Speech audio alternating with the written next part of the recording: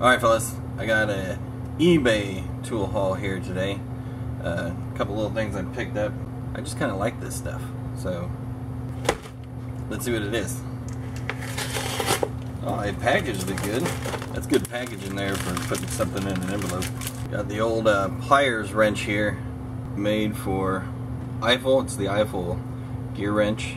This is the smaller version. These are more rare, hard to come by. Scout Crafter I'll leave a link in the corner to his channel. He does a lot of refurbishing of these. I figured I'd go ahead and pick one up and uh, try to do the same. Now uh, this one being rare and all is worth quite a bit more so I'm not going to go all full Scout Crafter on it.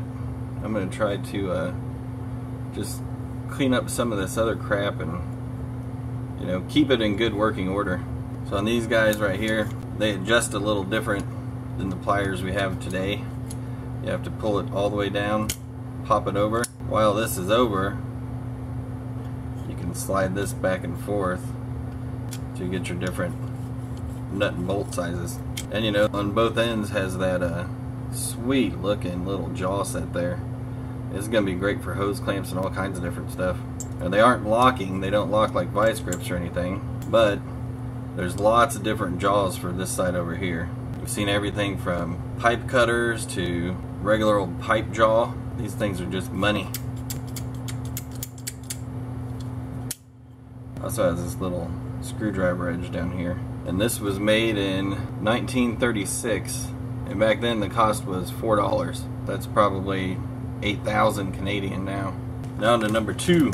This right here is the hand vise. Small little dainty stuff. The jaws on these, they're pretty nice. I mean, got a couple file marks in them, but that's to be expected. I mean, you're getting these down close to something. I can imagine before vice grips were a thing, these were what guys used to hold on to little bitty things when they were putting it up next to the wire wheel or the grinder.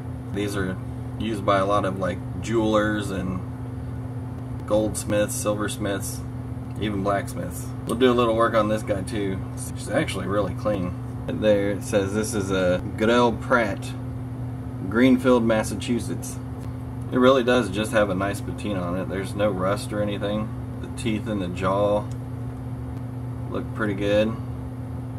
That's a good deal. You can pick these up. Sometimes you can get them for as cheap as 10 bucks. They're not going to be they're going to be beat up pretty bad if you get them get a set for 10 bucks but they go all the way up to 50 and so you try to find the best looking one you can for as cheap as you can, obviously. And uh, these were 27.50, so they were right in the middle of that 10 to 50 dollar range.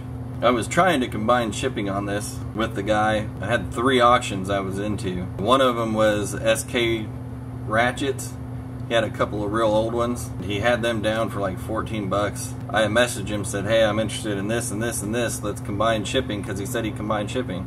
And while we were in the process of doing that, somebody bought those ratchets out from underneath me. Out of the kindness of his heart, he went ahead, refunded me all the shipping costs for this and this. I just paid straight six bucks for this and twenty-seven fifty for this. Hella thank you for that. Uh, I really wish I could have got those SK ratchets, but just wasn't my time, I guess. You know, that kind of shit happens. As always, like, comment, share, subscribe, love, hate, hardknocksforge, gmail.com. Don't send me any panties, because they never fit.